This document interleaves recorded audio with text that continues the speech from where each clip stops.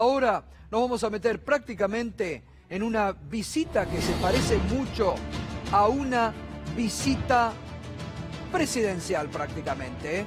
Ese prácticamente es el trato que Alberto Fernández recibió en España, reunión privada de una hora y media con el presidente del gobierno español, Pedro Sánchez, reunido con los principales empresarios que tienen representación en la Argentina, reunidos con la creme de la creme del empresariado, reunido con los líderes políticos, recibido por el Parlamento español.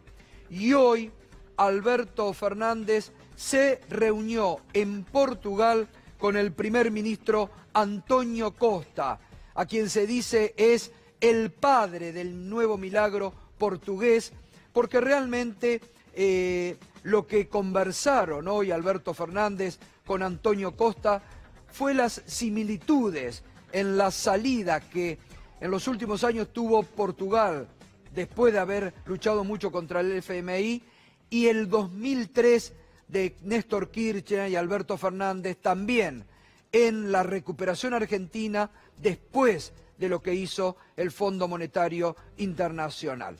Y Alberto Fernández que reflejaba estas reuniones a través de las redes sociales, de su tuit que indicaba, me reuní con el primer ministro de Portugal, Antonio Costa, para conversar sobre la experiencia de su país en la salida de la deuda y sobre la situación en Argentina.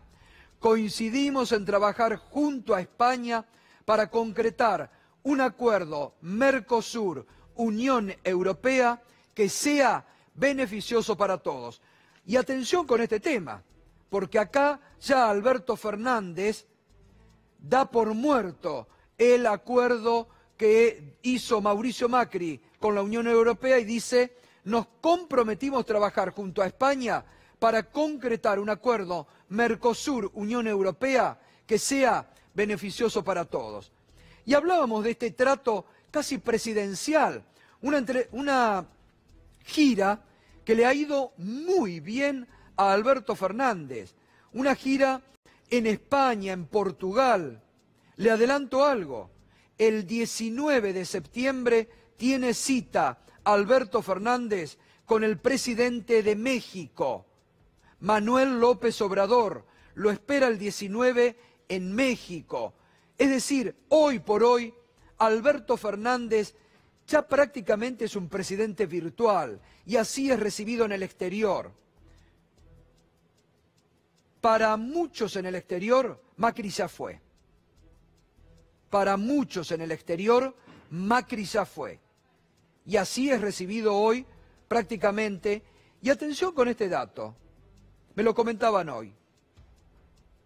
Ha producido mucha bronca en el presidente Mauricio Macri la forma en que Alberto Fernández fue recibido en España, en Portugal, el trato presidencial. Hay mucha bronca en la Rosada, hay mucho enojo en Mauricio Macri por este trato preferencial que se le ha dado a Alberto Fernández en, en España, en Europa. Se abre, España siempre es la puerta de ingreso para la Argentina en Europa.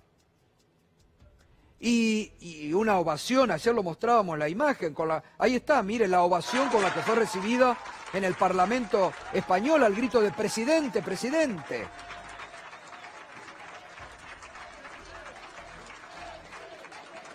Y hoy muy importante, y ya se mete Pedro Brigger, esta reunión que tuvo Alberto Fernández con el primer ministro de Portugal, el padre del milagro portugués. Buenas noches, Pedro, ¿cómo estás? Buenas noches, Gustavo. Efectivamente, como decís, no es muy común, por una cuestión diplomática, en primer lugar, que se recibe a un candidato a la presidencia. Por lo general, los gobiernos son bastante presidentes, presidentes, no se quieren meter en una interna cuando están tan cerca de unas elecciones, porque efectivamente eso implicaría un apoyo a tal o cual candidatura. Eso hay que señalarlo porque no es tan común, bien lo marcabas vos también, Gustavo, el recibimiento en el Reino de España, en el Parlamento español, en las Cortes, fue realmente impactante. Ahora, claro, Lo de Portugal, como bien decías también Gustavo, tiene un significado político y simbólico muy fuerte. Recordemos que el Fondo Monetario Internacional había aplicado políticas de ajuste muy drásticas a Portugal durante varios años y que en ese tiempo eso provocó el exilio, la migración de cerca de 500.000 personas de Portugal porque no tenían trabajo en un país de apenas 11 millones de personas, o sea, un porcentaje altísimo. Pero ¿qué pasó? Eso que vos llamaste el milagro portugués. En el año 2015 hubo elecciones y la derecha no logró formar gobierno. El Partido Socialista pudo formar gobierno con el apoyo de dos bloques. Por un lado el Partido Comunista y los Verdes y por el otro, el Partido Comunista con mucha historia en Portugal, y por el otro lado lo que se llama el bloque de izquierda, el bloque de izquierda, que vendría a ser un equivalente al Frente Izquierda a los trabajadores en la Argentina. Simplifico, pero más o menos vendría a ser esto. ¿Qué dijeron para apoyar al gobierno del primer ministro Costa? Tres cuestiones fundamentales. En primer lugar, las pensiones, las jubilaciones estaban congeladas, no había aumento, dijeron hay que aumentar la jubilación. Segundo lugar, hay que aumentar el salario mínimo, esto es consumo. Y en tercer lugar, emergencia para los sectores asalariados más pobres y los pensionados más pobres.